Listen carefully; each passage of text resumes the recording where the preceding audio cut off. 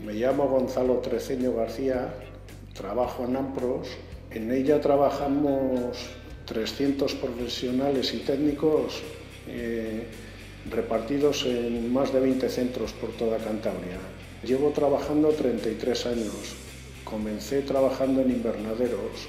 En la actualidad eh, trabajo en el centro ocupacional. Una de las partes más importantes que se está haciendo es en, aspectos laborales es evitar riesgos laborales.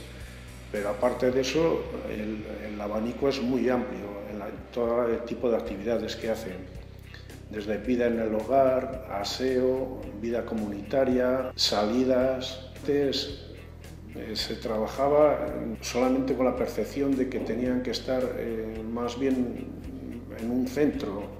Hoy en día lo que se pretende es que sean lo más autónomos posible.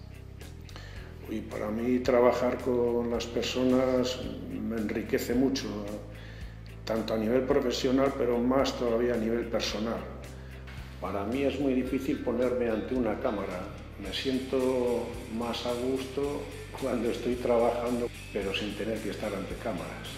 Pero bueno, también a través de ella quiero transmitir pues, mi, mis vivencias y mis experiencias.